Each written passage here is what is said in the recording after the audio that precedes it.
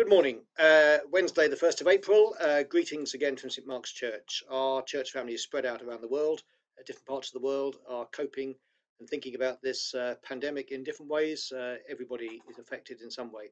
We're going to hear a greeting and a word of encouragement from Emma Camp, a member of our church who's currently working in Goma with Tearfund. Uh, Goma is in the Democratic Republic of Congo, just on the border with Rwanda. Emma, over to you in Goma and warm greetings from everybody at St Mark's. And then after Emma, we'll have a song uh, from Eppie. Hi St Mark's, hello from Goma.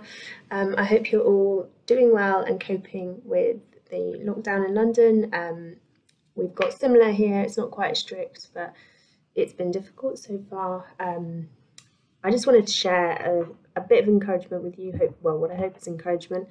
Um, for today and for the rest of your week. Um, so this morning I was just feeling very far away from everyone, and I don't know the next time that I'm going to be able to see any of my family or my friends because um, I don't know when I'm next going to be able to come to the UK or they're going to be able to come here. And it's very easy to start to feel completely overwhelmed and like it's it's going to be too hard to cope. Um, and I was just listening this morning to two songs by Rend Collective, um, and I'm not going to sing them, don't worry, I'm just going to read you a couple of bits from each one. So one of them is, it's called Marching On, and it says, Let our praises remind all the darkness of how great and how mighty our God is, for the battle belongs to the Lord and no one else. We are standing in holy defiance.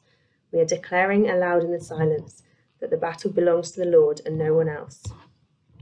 In the chaos, the crisis, the troubles, the trials, the shadows, the sorrows, the long nights, the hard fights, we are the prophets, the voice in the darkness, declaring the battle is yours. And the other one is um, Still Rend Collective, Joy of the Lord. And it says this Though tears may fall, my song will rise, my song will rise to you. Though my heart may fail, my song will rise, my song will rise to you. While there's breath in my lungs, I will praise you, Lord and it just seemed a really good moment to remember that even if you're not feeling joyful or happy or if everything's overwhelming you actually even just to sing praises in the name of jesus is taking a stand and is reaffirming your relationship with god.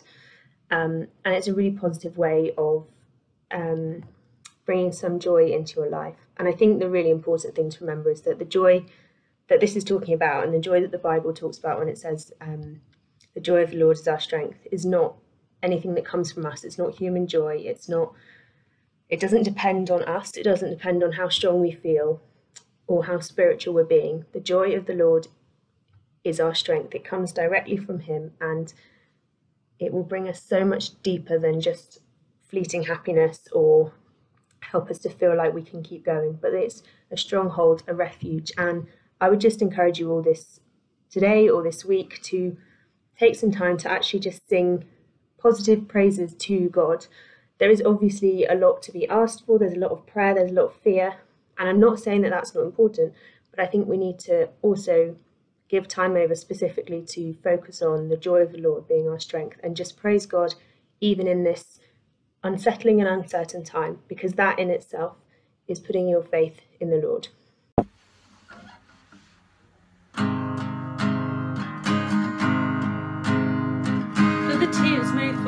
Song will rise, my song will rise to you. Though my heart may fail, my song will rise, my song will rise to you. While this breath